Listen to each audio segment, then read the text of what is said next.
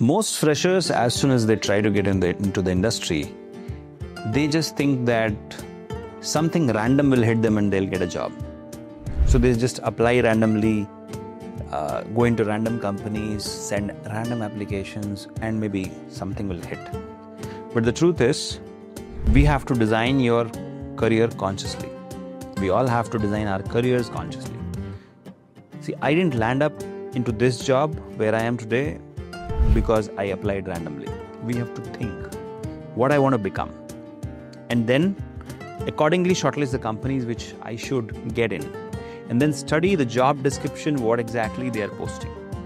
And then we learn all those skills and then we apply.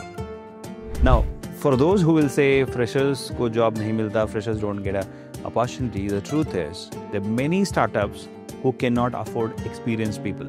Just yesterday, I was uh, talking to a uh, company which is having cosmetics uh, products. So they are looking for MSc Biotech fresher as well as MSc um, in chemistry freshers, pharma freshers. So I asked, why, why are you not hi- hiring uh, you know, experienced candidates? And to my surprise, they said, we can't afford because we are a startup. So we will obviously hire freshers, we'll train them, and then we'll um, you know get the work done. And that is a big eye opener for all the freshers.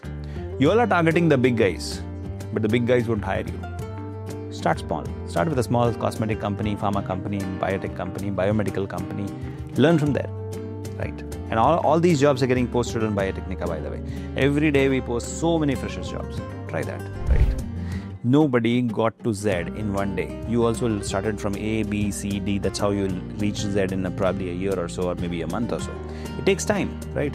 So you cannot get into your dream company on day one right? You have to go through the process.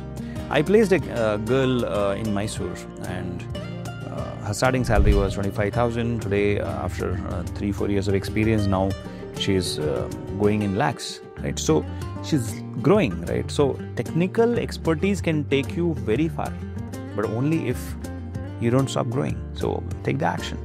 All the best.